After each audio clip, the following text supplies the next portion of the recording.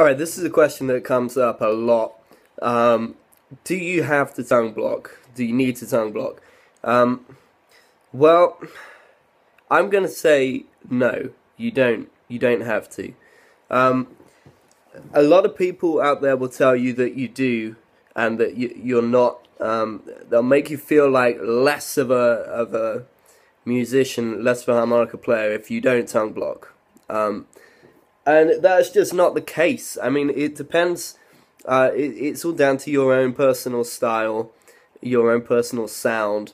Um, there's plenty of great harmonica players who don't tongue block. Um, you know, uh, I, I, think Jason Ricci doesn't. Uh, Sonny Terry, I believe, never tongue blocked. Um, who else? Um, I was speaking to Tom Ball a little while ago. Great harp player. He doesn't tongue block at all. Um, you know, it really doesn't matter. Um, yeah, it's it's a good thing to learn. Um, I, I still suggest that you learn how to do it. Um, you'll probably find a, a use for it uh, at one time or another. But you don't have to play tongue blocks all the time. So, you know, one argument for it is that you get a better tone, right? Um, and the reason for that is because the harp is further into your mouth, so you get a slightly warmer tone. Uh, when you pucker, the harp is right at the front of your mouth. When you tongue block, it's pushed right back in.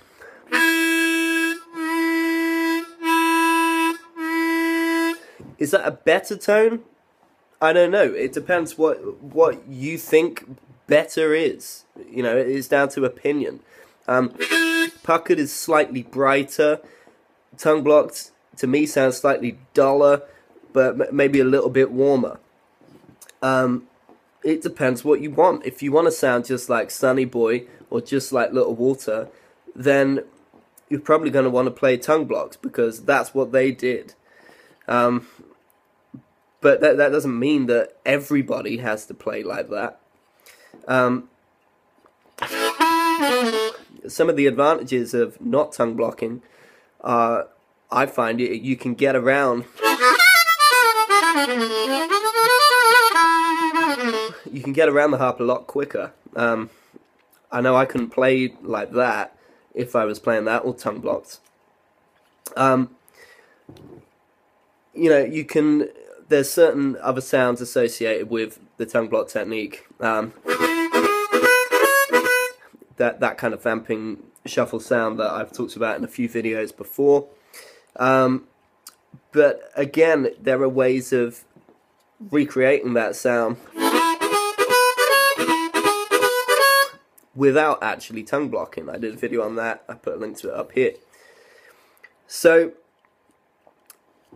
that's my opinion on that. Um, learn to do it. Learn to play both ways, puckered and tongue blocking.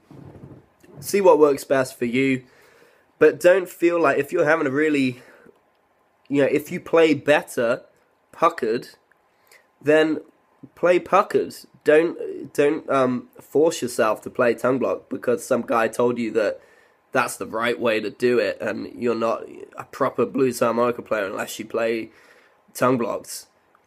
That's just stupid. Um, do what you want.